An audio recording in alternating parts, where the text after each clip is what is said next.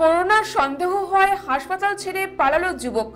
রাতে পুলিশের সাহায্য নিয়ে যুবককে ধরে এনে জলপাইগুড়ি সুপার স্পেশালিটি হাসপাতালে ভর্তি করল হাসপাতাল কর্তৃপক্ষ।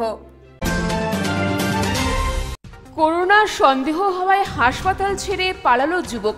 রাতে পুলিশের সাহায্য নিয়ে যুবককে ধরে এনে জলপাইগুড়ি সুপার স্পেশালিটি হাসপাতালে ভর্তি করলেন হাসপাতাল কর্তৃপক্ষ।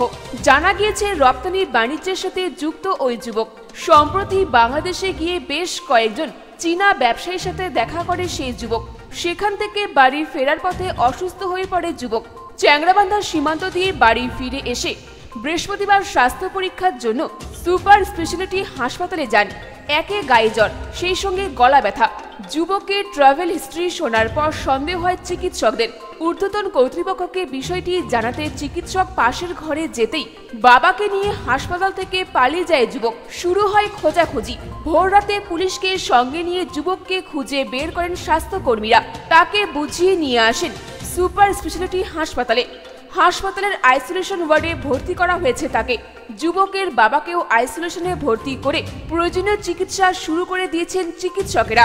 আজ লালারস এবং রক্তের নমুনা পরীক্ষার জন্য পাঠানো হবে বলে হাসপাতাল সুপার গয়ারাম নস্কর জানিয়েছেন। যেটা হলো আমাদের কাছে রিপোর্ট এসছে যে বামনপাড়ার একটি ছেলে, ও বোধহয় বিজনেস করতো বর্ডার এরিয়া এবং চায়নার নাকি কিছু বন্ধু বান্ধব ওর ছিল ওর সঙ্গে বিজনেস পার্টনার হিসাবে।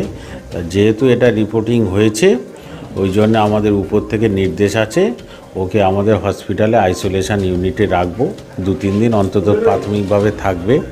যদি দেখা যায় সেরকম কোনো সিমটমস নেই, তাহলে আমরা ওকে ছেড়ে দেবো।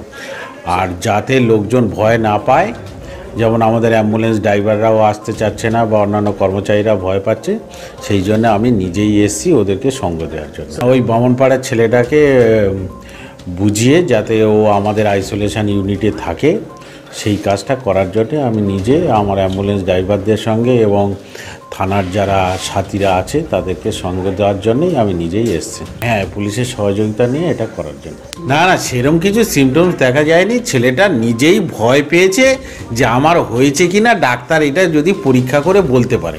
কিন্তু এর একমাত্র টেস্ট হলো যতক্ষণ না পর্যন্ত তার গলা থেকে থুতু নেবে, নিয়ে পরীক্ষা করবে বা রক্ত পরীক্ষা করবে, তার আগে কনফার্মেশন কিছুই হবে না। এমনি সর্দি কাশি জ্বরের মতোই হতে পারে।